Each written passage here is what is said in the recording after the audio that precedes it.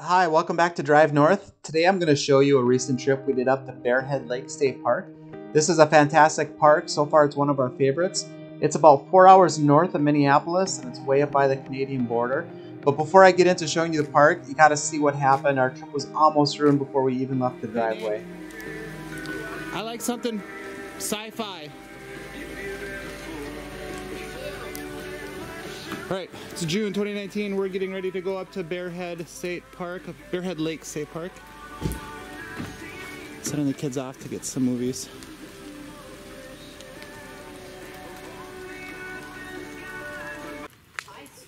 As we're two minutes away from leaving, this branch fell. Where did it come from? I don't even know. I don't see. Oh, it's that big up by the. Holy Where did it hit the truck? Here. I don't see any dents anywhere.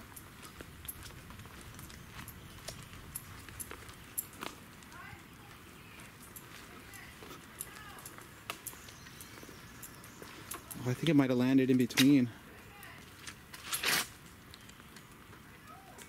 Oh, I don't know. Where'd it come No, from? there's leaves up there. Yeah.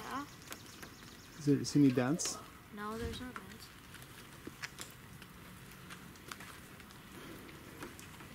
I, that could have killed If he would have been standing out here. Yeah, that could have been bad.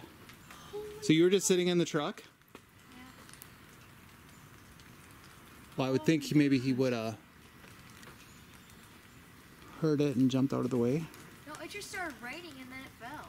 Like it, Well, you probably heard the Yeah. water from the leaves falling. That's and it doesn't even look. like it came from anywhere. No, it doesn't even look. Um. Well, I mean, Oh, way, way half of it's dead. That, wait, do you guys Well, see the bottom half, there? but so is that on that one, on this one, this one. Mom, look how high it was. I know. Nathan almost died. He saw it. It li- He was in the I- truck when it car happened.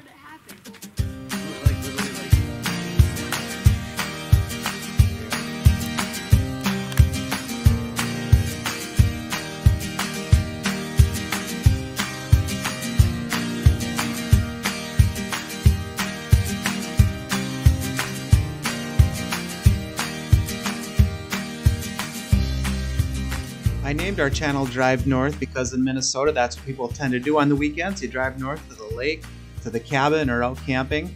And we're blessed that we're able to head out on Sundays. And that's what this traffic is. This is all the people coming back towards the city on a Sunday afternoon.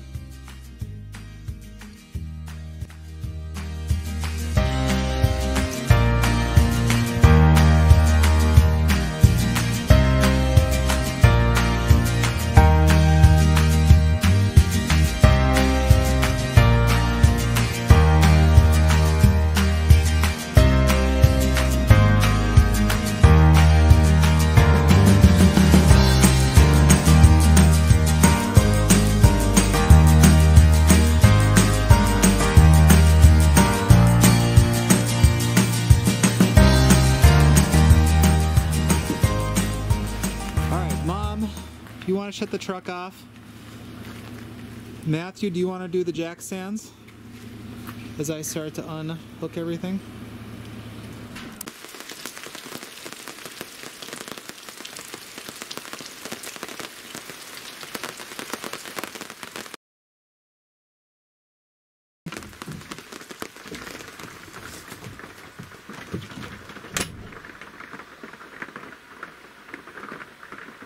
You know, I would have told them no to the PlayStation 4, but now it's actually okay that they brought it. I know. Oh, with the rain. Yeah. Yeah, if I can get this working, we watch a Twins game. Perfect. That's what I was hoping you could get it working for. So this is day two. It's been raining ever since we got here, except for like a half an hour, maybe an hour right when we got here. Rained all night, supposed to rain all day.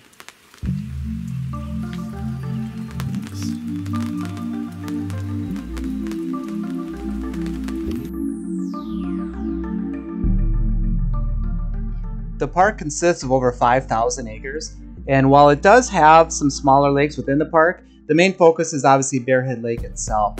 And this lake is over 670 acres, And the campground is situated right on one of the smaller bays of the lake, which is perfect because they have all these little docks where you can drag your kayak out, put it in the water, and explore all the local wildlife close to your campsite. And if you have a canoe, a boat, or even a kayak, you can go out to one of the larger bays and try your luck at fishing. This lake is well known for having an abundant supply of walleye, northern pike, crappie, and different panfish. Now, a lot of these sites, they're not right on the water, but they're right across from the water. And if you pick the right site, like Site 53 here, you'll actually get some lake views right from your campsite. And right across the road from the campsites are all these little trails where you can walk out and get an authentic view of a beautiful Minnesota lake.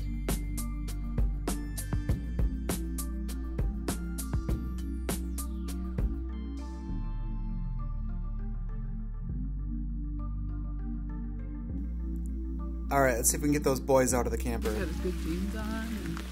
Fishing versus Minecraft.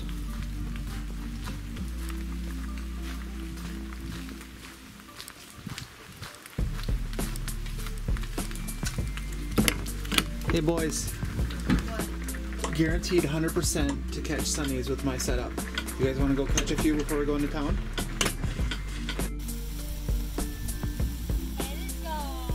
Told you. Oh, the rain's gone. No. Oh, it is stopping. Oh man, right up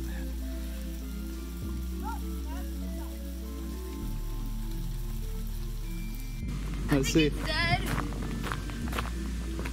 Dad, I'll do it. Oh, he's got like brains coming out.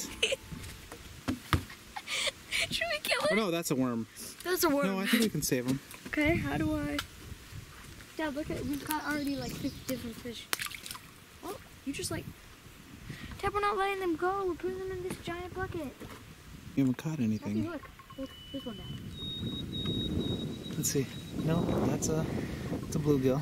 Oh, it's a bluegill. This one's really soft. Okay. Did you guys count them? You're literally Alright. kicking him out of the water. Oh, I was gonna eat you. Dingus. Oh wait, no, it's not moving. Where's? Where? Come here. Okay, we got eight. Thirteen. 18 fish? Oh. All right, that might be supper. Little baby plays. His tail came off.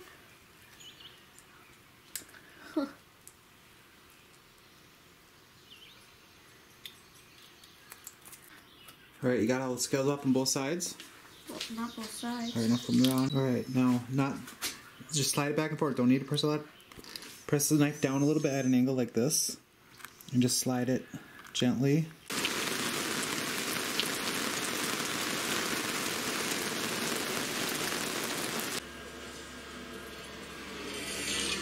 So I think Nathan, this might be five ounces of fish. It took us what an hour to make.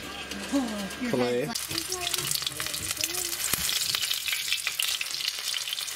Oh, this actually might turn out good.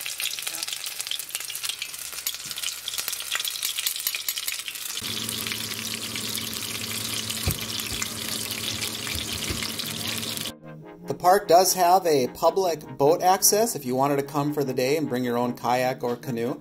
It is a $5 fee to get a one day pass. In addition to a dock for your watercraft, they also have a fishing pier right next by. And like most Minnesota state parks, phenomenal hiking, gorgeous path.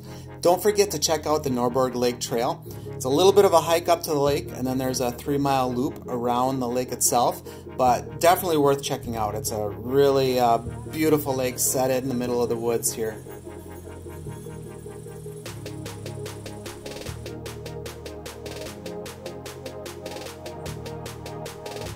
Minnesota state bird is the loon, and it's not uncommon to get close to them while you're out on the water in a boat. But while I was fishing and exploring the shoreline, I was able to get really close to one that was sitting on her nest, and I'm pretty sure she was sitting on an egg or two. Um, but no worries, I was very careful that I didn't get too close to disturb her. But they really are a sight to see up close. They are just beautiful birds. They have such distinct markings and vivid colors. It was a really treat to see this one up as close as we did.